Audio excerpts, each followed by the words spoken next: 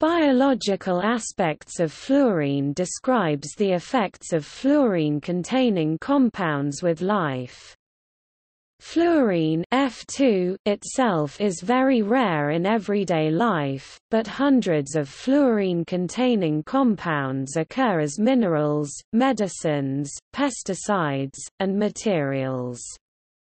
Naturally occurring organofluorine compounds are extremely rare. Nonetheless, 20% of all commercialized pharmaceuticals contain fluorine, examples being Lipitor and Prozac. Man-made fluorinated compounds have also played a role in several noteworthy environmental concerns.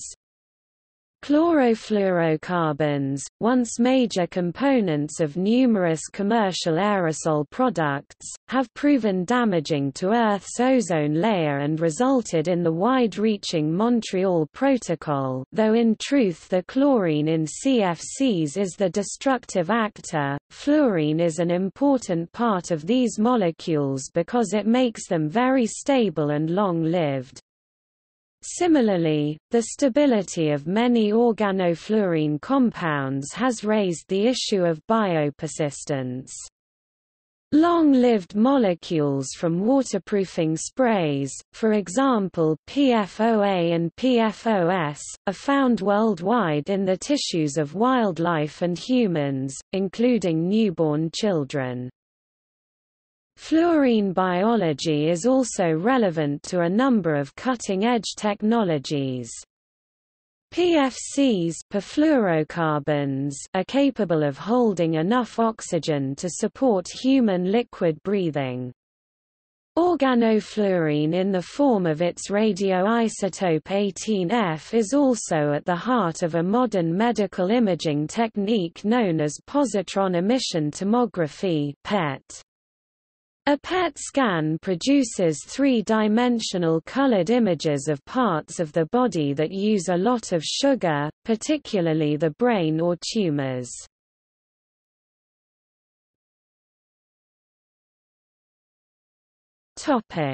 Dental care Since the mid-20th century, it has been discerned from population studies though incompletely understood, that fluoride reduces tooth decay. Initially, researchers hypothesized that fluoride helped by converting tooth enamel from the more acid-soluble mineral hydroxyapatite to the less acid-soluble mineral fluorapatite. However, more recent studies showed no difference in the frequency of caries cavities amongst teeth that were pre-fluoridated to different degrees. Current thinking is that fluoride prevents cavities primarily by helping teeth that are in the very early stages of tooth decay. When teeth begin to decay from the acid of sugar-consuming bacteria, calcium is lost demineralization, however, teeth have a limited ability to recover calcium if decay is not too far advanced remineralization. Fluoride appears to reduce demineralization and increase remineralization. Also, there is some evidence that fluoride interferes with the bacteria that consume sugars in the mouth and make tooth-destroying acids. In any case, it is only the fluoride that is directly present in the mouth topical treatment that prevents cavities. Fluoride ions that are swallowed do not benefit the teeth. Water fluoridation is the controlled addition of fluoride to a public water supply to reduce tooth decay. Its use began in the 1940s, following studies of children in a region where water is naturally fluoridated. It is now used for about two-thirds of the U.S. population on public water systems and for about 5.7% of people worldwide. Although the best available evidence shows no association with adverse effects other than fluorosis dental and, in worse cases, skeletal, most of which is mild, water fluoridation has been contentious for ethical, safety, and efficacy reasons, and opposition to water fluoridation exists despite its support by public health organizations. The benefits of water fluoridation have lessened recently, presumably because of the availability of fluoride in other forms, but are still measurable, particularly for low-income groups.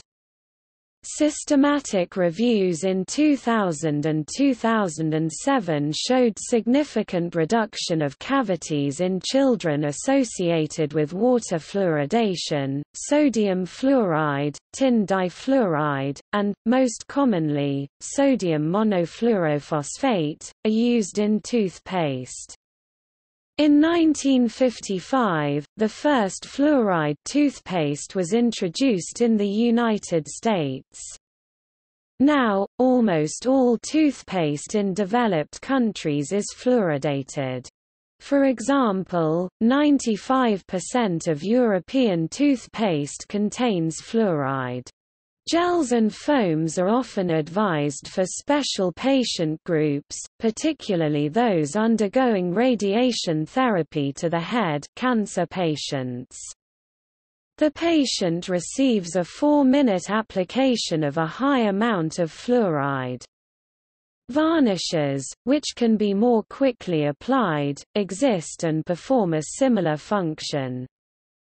Fluoride is also contained in prescription and non-prescription mouthwashes and is a trace component of foods manufactured using fluoridated water supplies.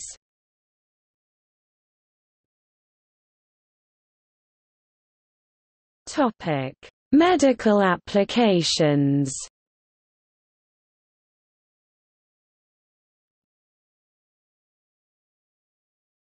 Topic: Pharmaceuticals.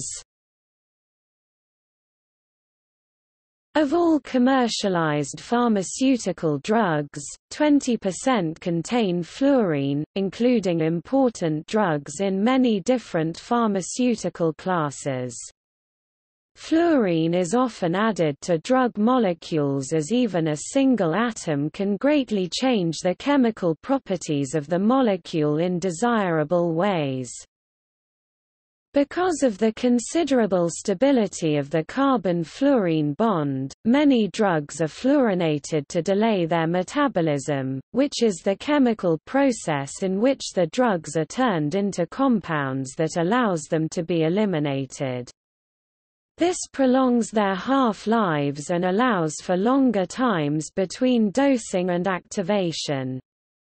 For example, an aromatic ring may prevent the metabolism of a drug, but this presents a safety problem, because some aromatic compounds are metabolized in the body into poisonous epoxides by the organism's native enzymes. Substituting a fluorine into a para position, however, protects the aromatic ring and prevents the epoxide from being produced. Adding fluorine to biologically active organics increases their lipophilicity, ability to dissolve in fats, because the carbon-fluorine bond is even more hydrophobic than the carbon-hydrogen bond. This effect often increases a drug's bioavailability because of increased cell membrane penetration. Although the potential of fluorine being released in a fluoride-leaving group depends on its position in the molecule, organofluorides are generally very stable, since the carbon-fluorine bond is strong. Fluorines also find their uses in common mineralocorticoids, a class of drugs that increase the blood pressure. Adding a fluorine increases both its medical power and anti-inflammatory effects. Fluorine-containing fludrocortisone is one of the most common of these drugs. Dexamethasone and triamcinolone, which are among the most potent of the related synthetic corticosteroids class of drugs, contain fluorine as well. Several inhaled general anesthetic agents, including the most commonly used inhaled agents, also contain fluorine. The first fluorinated anesthetic agent, halothane, proved to be much safer neither explosive nor flammable and longer lasting than those previously used. Modern fluorinated anesthetics are longer lasting still and almost insoluble in blood, which accelerates the awakening. Examples include sevoflurane, desflurane, enflurane, and isoflurane, all hydrofluorocarbon derivatives. Prior to the 1980s, antidepressants altered not only serotonin uptake lack of serotonin is a reason for a depression, but also the uptake of altered norepinephrine, the latter caused most of the side effects of antidepressants. The first drug to alter only the serotonin uptake was Prozac. It gave birth to the extensive selective serotonin reuptake inhibitor (SSRI) antidepressant class and is the best-selling antidepressant. Many other SSRI antidepressants are fluorinated organics, including Celexa, Luvox, and Lexapro. Fluoroquinolones are a commonly used family of broad-spectrum antibiotics.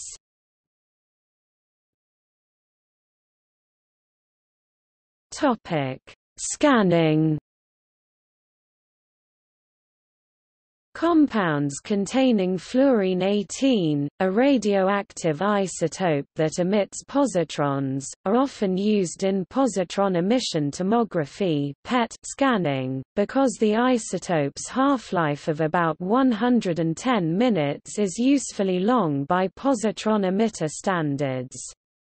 One such radiopharmaceutical is 2-deoxy-2 fluoro-D-glucose generically referred to as fludeoxyglucose, commonly abbreviated as 18F-FDG, or simply FDG.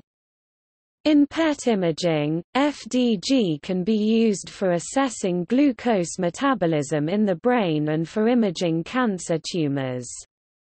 After injection into the blood, FDG is taken up by FDG-avid tissues with a high need for glucose, such as the brain and most types of malignant tumors. Tomography, often assisted by a computer to form a PET, CT CT stands for computer tomography Machine, can then be used to diagnose or monitor treatment of cancers, especially Hodgkin's lymphoma, lung cancer, and breast cancer. Natural fluorine is monoisotopic, consisting solely of fluorine 19. Fluorine compounds are highly amenable to nuclear magnetic resonance NMR, because fluorine-19 has a nuclear spin of one-half, a high nuclear magnetic moment, and a high magnetogyric ratio. Fluorine compounds typically have a fast NMR relaxation, which enables the use of fast averaging to obtain a signal-to-noise ratio similar to hydrogen-1 NMR spectra. Fluorine-19 is commonly used in NMR study of metabolism, protein structures and conformational changes. In addition, inert fluorinated gases have the potential to be a cheap and efficient tool for imaging lung ventilation.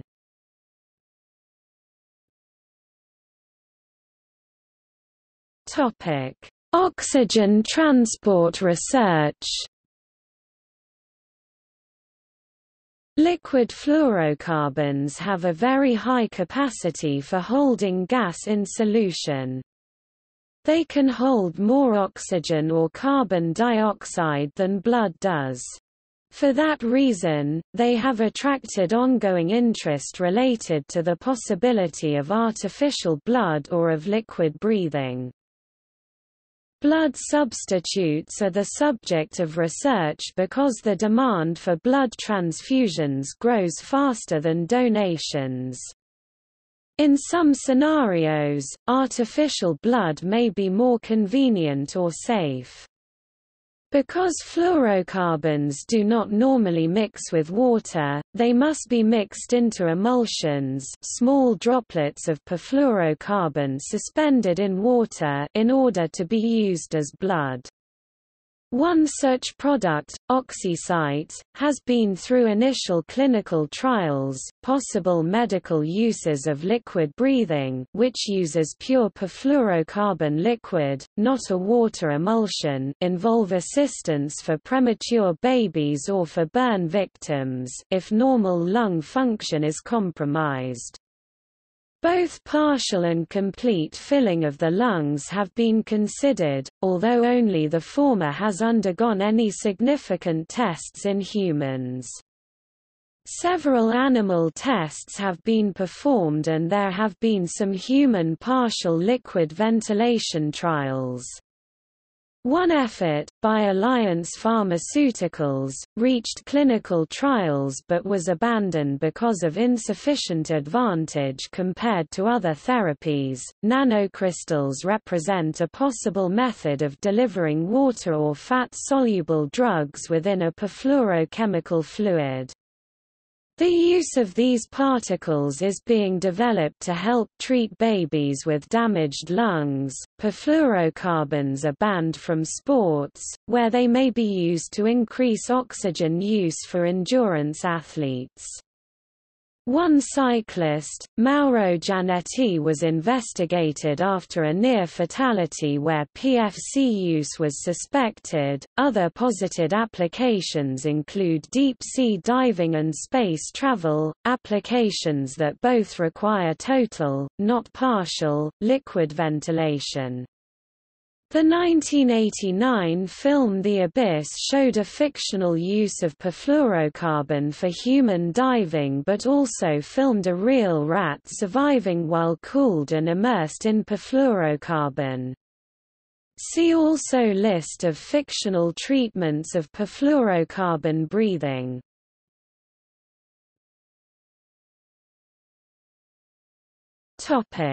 Agrichemicals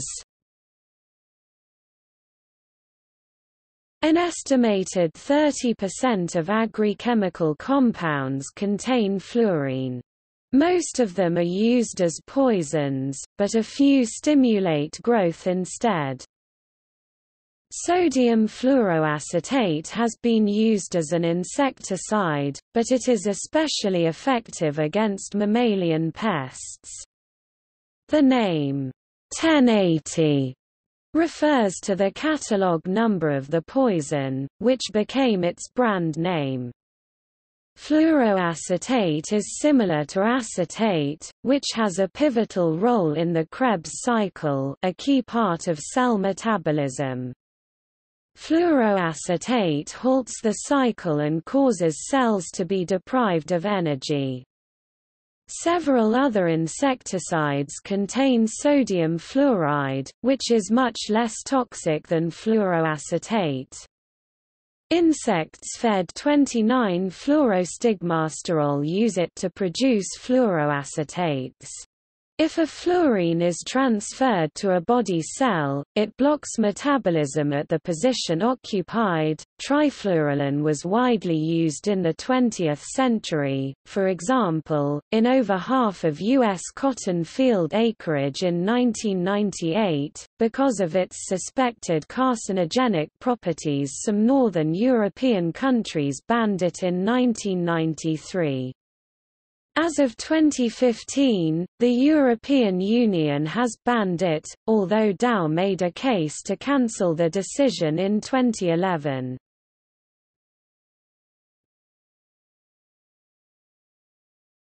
Topic: Biochemistry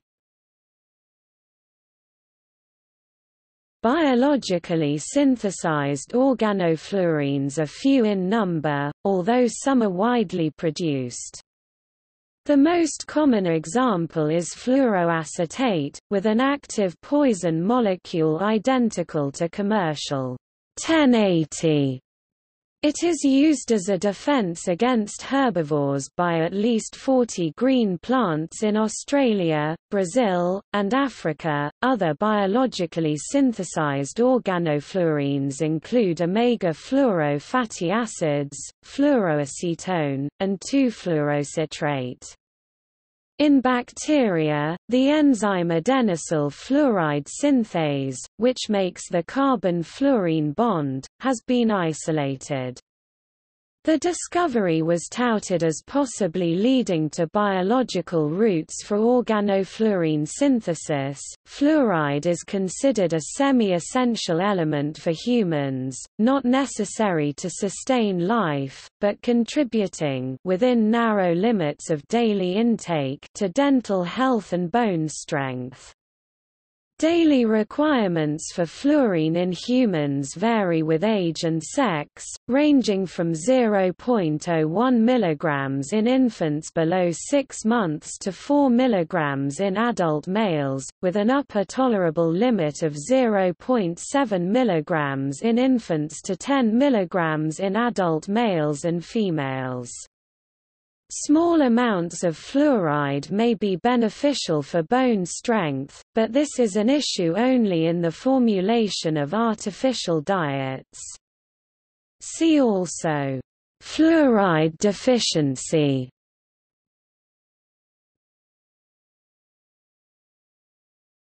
Topic: Hazards.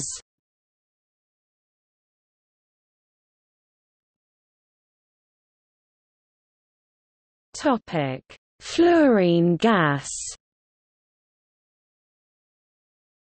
Elemental fluorine is highly toxic. Above a concentration of 25 ppm, it causes significant irritation while attacking the eyes, airways and lungs and affecting the liver and kidneys. At a concentration of 100 ppm, human eyes and noses are seriously damaged. People can be exposed to fluorine in the workplace by breathing it in, skin contact, or eye contact. The Occupational Safety and Health Administration (OSHA) has set the legal limit, permissible exposure limit for fluorine exposure in the workplace as 0.1 ppm, 0.2 mg per cubic meter over an 8-hour workday. The National Institute for Occupational Safety and Health has set a recommended exposure limit of 0.1 ppm 0.2 mg per cubic meter over an 8-hour workday. At levels of 25 ppm, fluorine is immediately dangerous to life and health.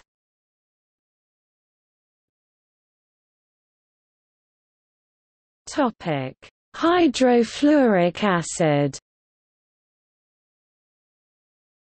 Hydrofluoric acid, the water solution of hydrogen fluoride, is a contact poison. Even though it is chemically only a weak acid, it is far more dangerous than conventional strong mineral acids, such as nitric acid, sulfuric acid, or hydrochloric acid. Owing to its lesser chemical dissociation in water remaining a neutral molecule, hydrogen fluoride penetrates tissue more quickly than typical acids. Poisoning can occur readily through the skin or eyes or when inhaled or swallowed. From 1984 to 1994, at least nine U.S. workers died from accidents with HF. Once in the blood, hydrogen fluoride reacts with calcium and magnesium, resulting in electrolyte imbalance potentially hypercalcemia. The consequent effect on the heart cardiac arrhythmia may be fatal. Formation of insoluble calcium fluoride also causes strong pain. Burns with areas larger than 160 square centimeters, about the size of a man's hand, can cause serious systemic toxicity. Symptoms of exposure to hydrofluoric acid may not be immediately evident, with an 8-hour delay for 50% HF and up to 24 hours for lower concentrations. Hydrogen fluoride interferes with nerve function, meaning that burns may not initially be painful. If the burn has been initially noticed, then HF should be washed off with a forceful stream of water for 10 to 15 minutes to prevent its further penetration into the body. Clothing used by the person burned may also present a danger. Hydrofluoric acid exposure is often treated with calcium gluconate, a source of Ca2 that binds with the fluoride ions. Skin burns can be treated with a water wash and 2.5% calcium gluconate gel or special rinsing solutions. Because HF is absorbed, further medical treatment is necessary. Calcium gluconate may be injected or administered intravenously. Use of calcium chloride is contraindicated and may lead to severe complications. Sometimes surgical excision of tissue or amputation is required.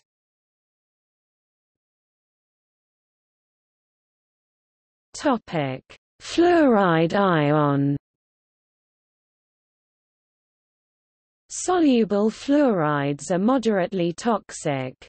For sodium fluoride, the lethal dose for adults is 5 to 10 grams, which is equivalent to 32 to 64 milligrams of elemental fluoride per kilogram of body weight. The dose that may lead to adverse health effects is about one-fifth of the lethal dose. Chronic excess fluoride consumption can lead to skeletal fluorosis, a disease of the bones that affects millions in Asia and Africa. The fluoride ion is readily absorbed by the stomach and intestines. Ingested fluoride forms hydrofluoric acid in the stomach. In this form, fluoride crosses cell membranes and then binds with calcium and interferes with various enzymes. Fluoride is excreted through urine. Fluoride exposure limits are based on urine testing, which is used to determine the human body's capacity for ridding itself of fluoride. Historically, most cases of fluoride poisoning have been caused by accidental ingestion of insecticides containing inorganic fluoride. Most calls to poison control centers for possible fluoride poisoning come from the ingestion of fluoride-containing toothpaste. Malfunction of water fluoridation equipment has occurred several times, including an Alaskan incident that sickened nearly 300 people and killed one.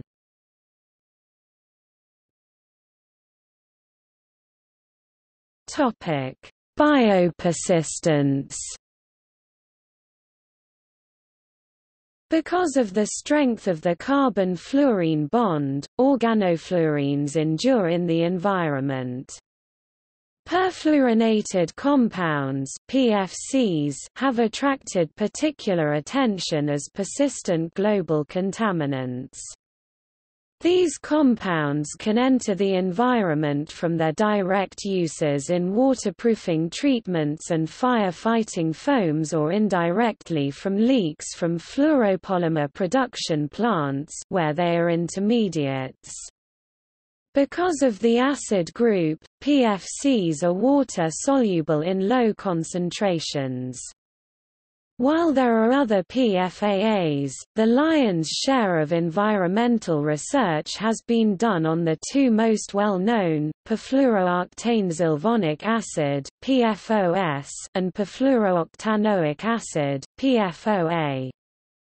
The U.S. Environmental Protection Agency classifies these materials as emerging contaminants Based on the growing but still incomplete understanding of their environmental impact, trace quantities of PFCs have been detected worldwide, in organisms from polar bears in the Arctic to the global human population. Both PFOS and PFOA have been detected in breast milk and the blood of newborns. A 2013 review showed widely varying amounts of PFOS and PFOA in different soils and groundwater, with no clear pattern of one chemical dominating. PFC concentrations were generally higher in areas with more human population or industrial activity, and areas with more PFOS generally also had more PFOA. The two chemicals have been found at different concentrations in different populations, for example, one study showed more PFOS than PFOA in Germans, while another study showed the reverse for Americans.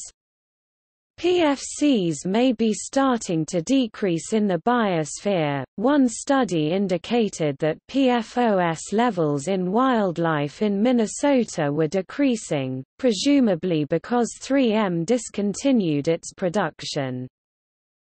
In the body, PFCs bind to proteins such as serum albumin. Their tissue distribution in humans is unknown, but studies in rats suggest it is present mostly in the liver, kidney, and blood. They are not metabolized by the body but are excreted by the kidneys. Dwell time in the body varies greatly by species. Rodents have half-lives of days, while in humans they remain for years. Many animals show sex differences in the ability to rid the body of PFAAs, but without a clear pattern. Gender differences of half-lives vary by animal species, the potential health impact of PFCs is unclear. Unlike chlorinated hydrocarbons, PFCs are not lipophilic stored in fat, nor genotoxic damaging genes. Both PFOA and PFOS in high doses cause cancer and the death of newborns in rodents. Studies on humans have not been able to prove an impact at current exposures. Bottlenose dolphins have some of the highest PFOS concentrations of any wildlife studied. One study suggests an impact on their immune systems. The biochemical causes of toxicity are also unclear and may differ by molecule, health effect, and even animal. PPAR-alpha is a protein that interacts with PFAAs and is commonly implicated in contaminant-caused rodent cancers. Less fluorinated chemicals, i.e. not perfluorinated compounds, can also be detected in the environment. Because biological systems do not metabolize fluorinated molecules easily, fluorinated pharmaceuticals like antibiotics and antidepressants can be found in treated city sewage and wastewater. Fluorine-containing agrichemicals are measurable in farmland runoff and nearby rivers.